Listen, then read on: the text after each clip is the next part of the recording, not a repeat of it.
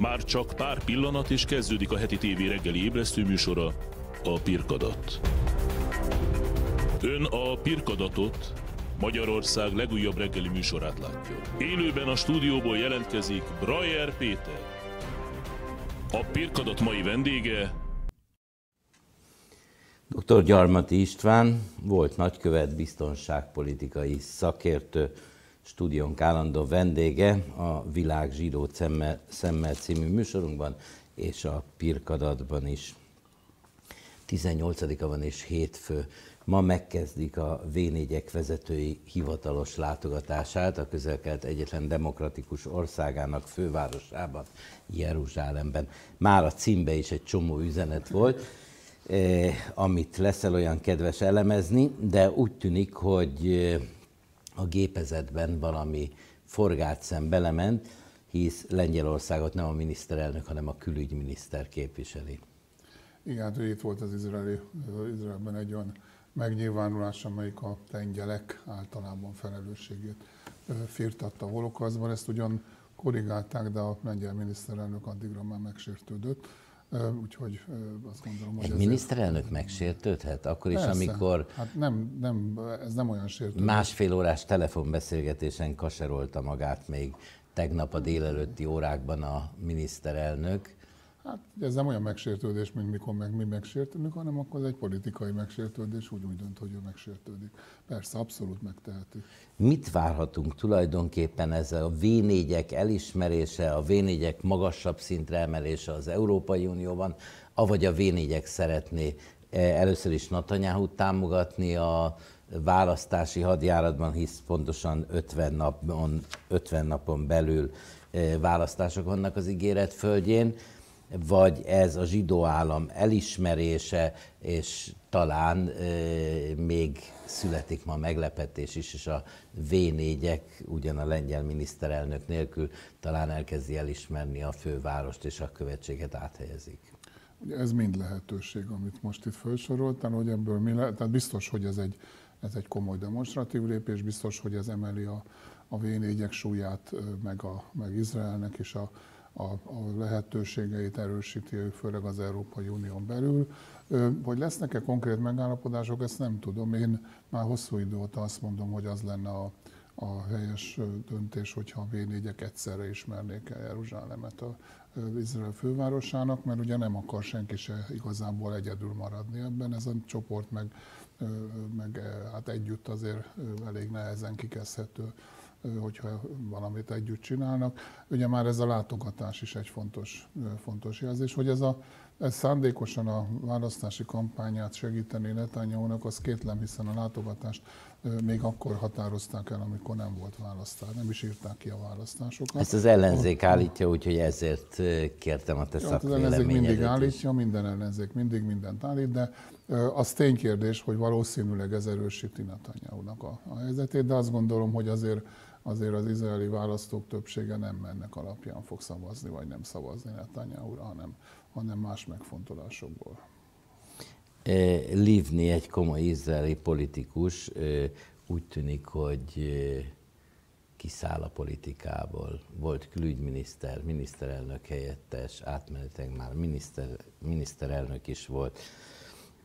Nagyon sok új arc van a mostani választásokon, és úgy tűnik, hogy teljesen megszűnik a jobb és baloldal, ugyan még megvádolják egyik a másikat azzal, hogy te baloldali vagy jobboldali, és ez nagyon szórakoztató, arról már beszéltünk.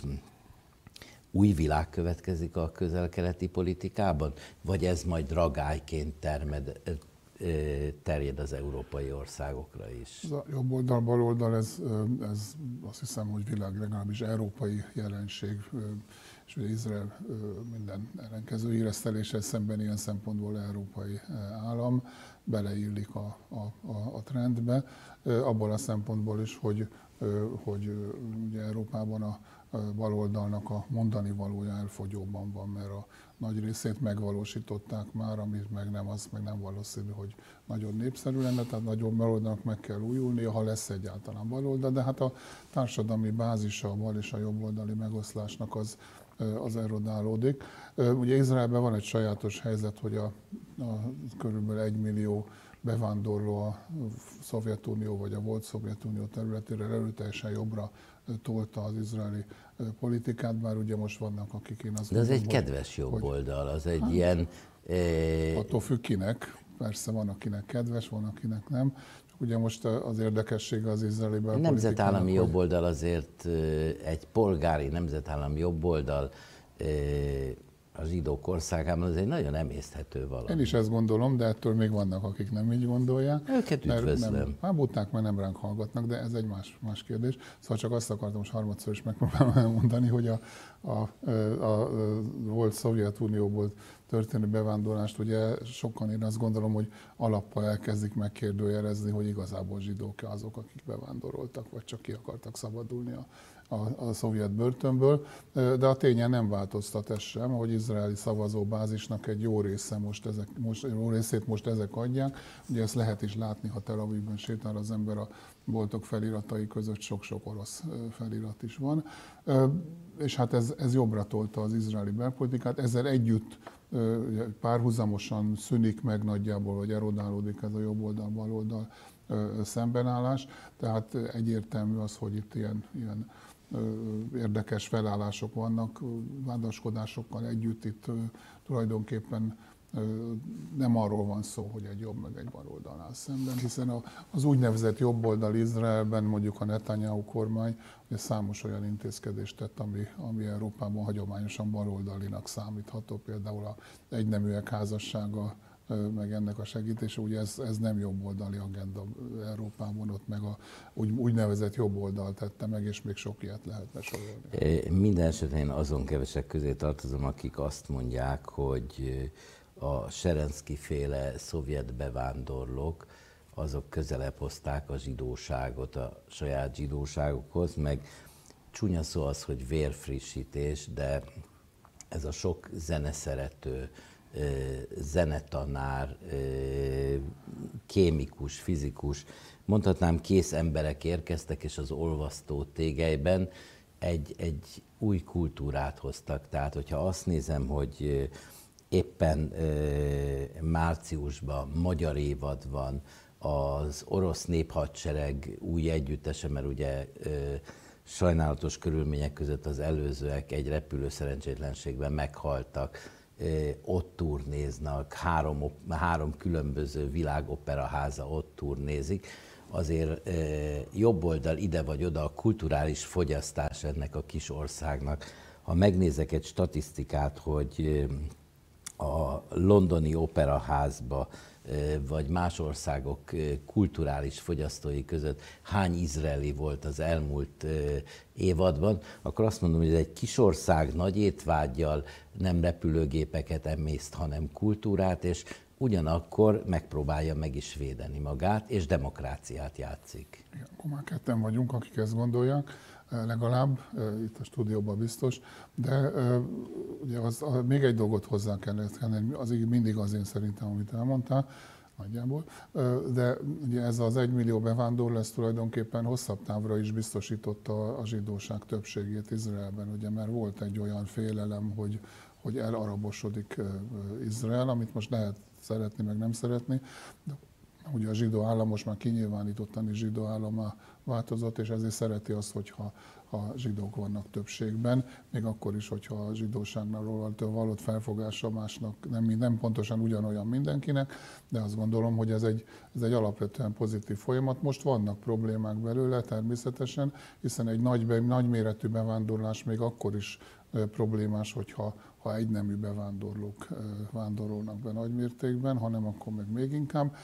Ugye tehát vannak problémák, de azt gondolom, hogy, hogy viszonylag rövid időn belül, tehát a következő generációval ezek már, ezek már fognak, hát nem is eltűnni, de nagyjából megszűnnek. De ugyanakkor ezek integrálódnak is, akkor igen, nézzük igen. azt, hogy mi történik a nagyvilágban.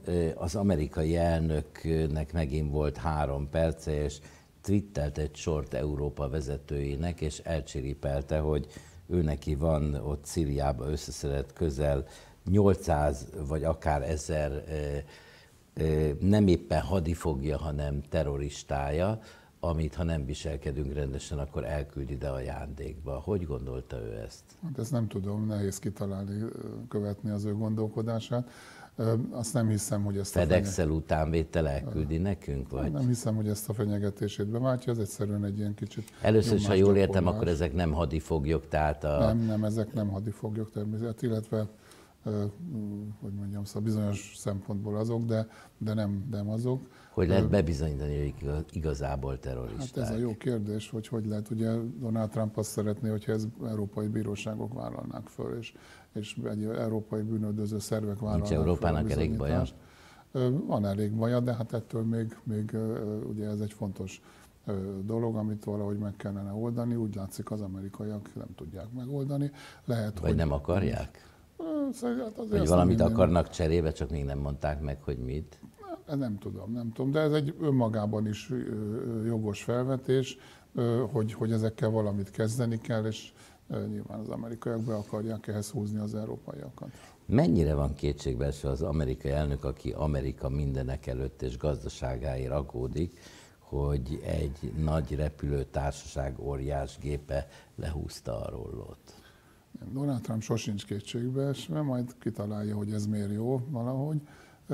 Igen, hát ez hát egy... egy biztos jó, az amerikai versenypartnerek azért a maguk módján most örülnek, de hát azért mégiscsak 5000 munkás munkanélkülével válik. Ö, Vagy fájjon a franciák feje. Európában, ugye, de, de hát ugye a, a versenytársak, akik miatt a, a, három, az Airbus 380-as tulajdonképpen nem, nem vált be, azok három versenytárs van, amiből kettő amerikai, ugye a Boeing 787-es, a 777-es és a az Airbus 350-es, ugye ez a három, amelyik, amelyik tulajdonképpen hát kiszorította a, a, a 380-ast.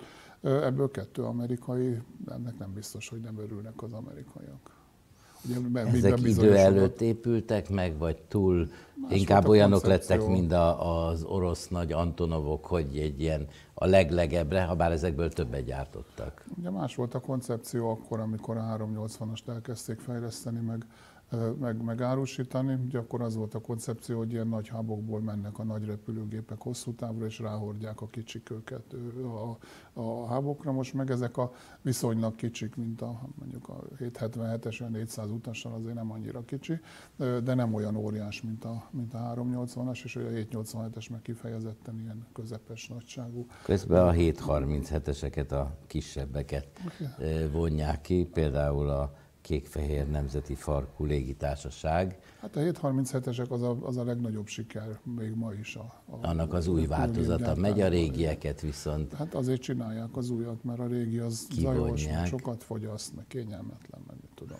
Vajon, és időnk mindjárt le is jár, erre ma még visszatérünk, az orosz versenytársak képesek ma már zajmentes és nem egész benzinkút nem hálózatot nem. Látjuk, ugye ezek az új, új fejlesztésű orosz gépek ezeknek a... Persze nem benzinre, a kerozinra gondoltam. Ezeknek a sikere sehol nincsen, tehát egyszerűen nem látszik a világpiacon, hogy, hogy bárki, ha csak nem politikai okokból ezeket az új orosz gépeket vásárolná. A 380-as az Airbusnak is megvannak a maga hadipari gépei. Mennyire ö, veti vissza a francia? Ö, tehát a 80 nem nagyon van, van, van katonai alkalmazás. Én azt gondolom, az egy rossz koncepció volt. hogy a Boeing jól, jól döntött, hogy a 747-esből nem csinál ilyen. Hát, hogyha a 380-ast átalakítanák teherhordónak, akkor... Hát ez nehéz, mert az két fedelőgép, tehát két fedélzete van, és akkor oda nem nagyon fér be igazából. Tehát nem, nem, nem tartom valószínűleg, inkább a, a 777-es az, amelyik erre alkalmas. Kedves nézőim, megpróbáltam megoldani a francia légipari műveknek a munkásainak a munkahelyét, ez nem sikerült. Gyarmat István nagykövettel, biztonság, belbiztonság és külbiztonsági politikussal ma az esti órákban újra találkoznak, és akkor most következik Pászkán Zsolt, a KKI szakértője, Romániába fogunk repülni, és az új román döntésekről, az EU-ról, hisz ők az EU soros elnökei fogunk beszélni, és hogy ki ott folytatjuk, ahol a múltkor abba hagytuk, hogy ki is diktál, az elnök vagy a miniszterelnök. Tartsanak